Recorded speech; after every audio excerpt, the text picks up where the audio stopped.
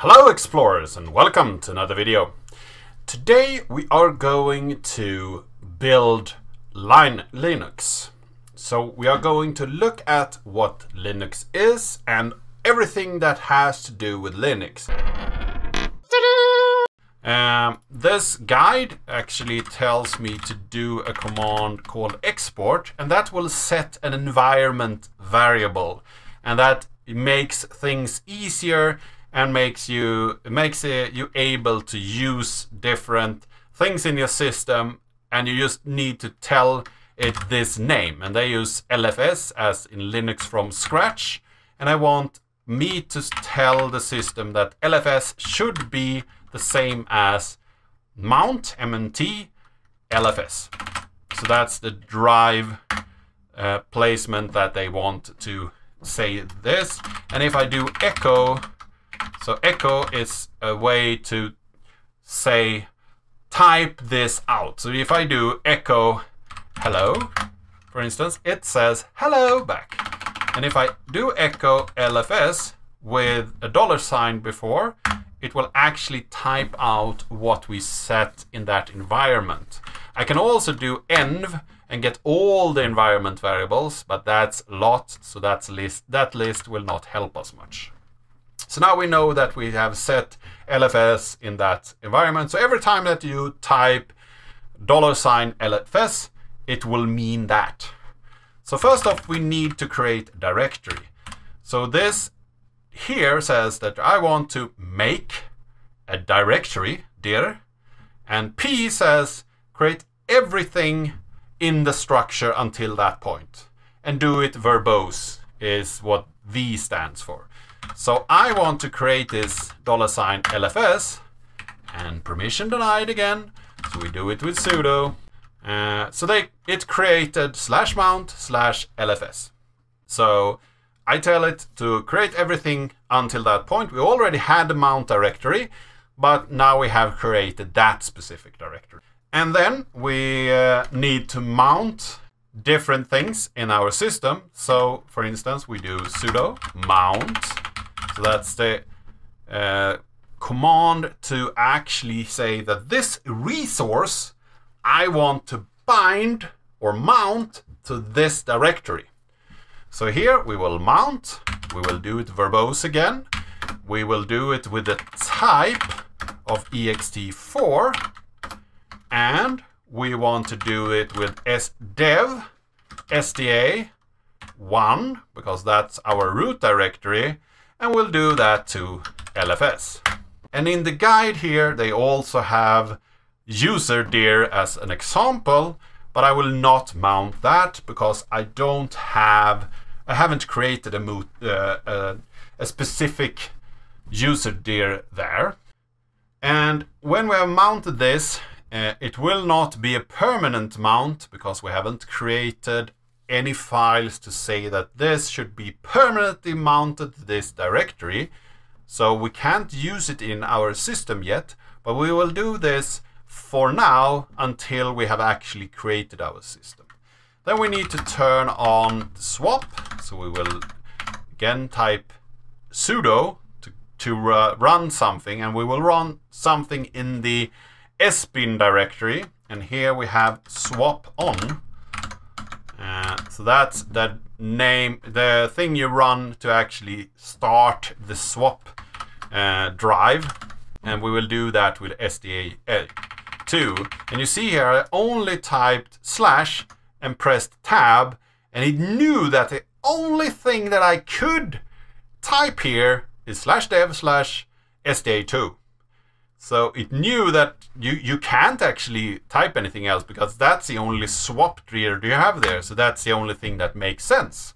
So it helped you there a lot. And now we need to actually go into the uh, sources directory here. So it tells us to create a sources directory. Um, I will actually say something else there. I think we should do an opt directory uh, to be more uh, in the line of what I talked about earlier. So I will create the dir, lfs slash opt instead. So I created that directory. And then I will do co, mod. And co mod actually tells the system, give this directory some specific permissions. And the permission are built on a very in, uh, easy little theory. You have system permissions or the root permissions. That's one part. Then you can give specific groups a specific per permission. And lastly, you give a specific user permissions to a file. So you can give the system or root a specific permission, a group a specific permission, and a specific user a specific permission. So in this case, we wanted to uh, give it all right uh, and temporary to this directory. So it actually says verbose again, all plus right. So it adds right to that directory, temporary, and that will be to the uh, lfs slash opt. And it completes it like that. So this uh, will change it, you see here, it changes it from 0755. So that's actually telling the system that the root user will have read, read, write, execute permissions. And then the group will have read, execute in this directory. And then the user will have read, and execute in that directory. But we changed it to actually be that everyone could read, write, and execute that directory. And we also said that this, this should be a temporary directory. So that's what we did with this opt directory. Um, and that's maybe not what we want. Now let's uh, go back here and uh, we will remove this opt directory. Uh, because I think we, we, we should actually do as they said.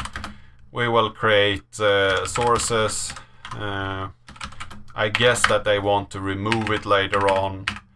So let's let's do like that. So now I have done the same again, but I have created this sources directory that they talked about. Then they do a command called pushed d. Okay, I, I see. So uh, first off, we need to actually get uh, a list of all the files we want to download. So if we are in this directory, we want to fetch a specific list of uh, files, a specific list that contains all the files that we want to download. So we go here to uh, a directory called the Linux from scratch scratch.org uh, remove that F. And then I will go into LFS so this is Linux from scratch the first thing that you can learn about. I want to download this and I want the stable book directory. So here you have the actual book that I'm reading from so you have it in PDF form you have it from uh, in HTML form. You can download it as a tar binary. And here you actually have the wget list. So this is a list of all the packages that we uh, want to download. And then we have an MD5 sum here. And this is actually things that says this specific package should have this hash. And in Linux systems and in open source, you usually use uh, hashes to say that this specific package has not been tampered with. It's this it's the same package that they packaged and that they actually put an hash on. And hash is a function where you put a lot of data out and it rolls through the data and creates something that uniquely will uniquely will identify that data. And it might not be all uh, all files will not have a unique uh, identifier in this case because you see it's not that many letters. It's about 32 letters perhaps. So it can't uniquely um, distinguish with from all data in the universe. But in this case, it's very hard to create something from a hashing uh, function that is equal to this. So a hash function should go one way. You should put a lot of data in in one end and should have a hash out in the other end and doing it the reverse and figure out what bytes should I have actually have or what kind of data should I have to create this hash should be very hard. So that's uh, what this does here. So we, we want both of these files in our system and there's a command called vget that actually can download files. So we go back here, we do vget with this link here. I guess I we need to do sudo to actually get that. So now I have that file on my system. I will do the same with this MD5 sum. So we will get that link as well. So it will fetch that link. Uh, so we do sudo again. So now I have those two files on my system. Then they, in the guide here, they tell us to vget and use the input uh, file of the vget list that we just downloaded. It wants us to continue on we on any failures and it wants us to put it in the directory prefix of uh, let's see here. We need uh, dollar sign lfs slash sources. So put what you download in this sources directory so now it will go out and download all these packages and all all the things that we need to build our own Linux environments. Some of these packages might not be required. Uh, some of these packages are required by other packages.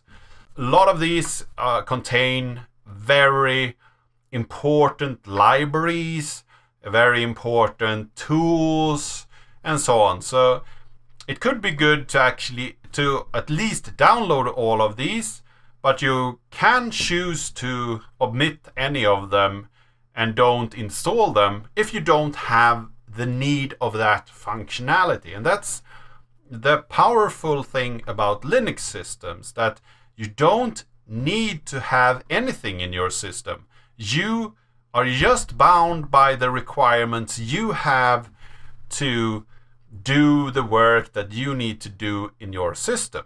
So let's uh, wait until it has downloaded all the packages.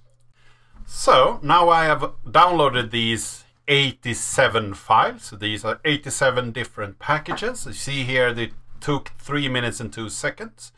Uh, or uh, 4 minutes and 29 seconds on the wall clock. Um, and it can take a lot of different, it can take different time for each installation. And this is because it goes out and finds places where these packages are located. And there is a lot of mirrors on the internet that host these files.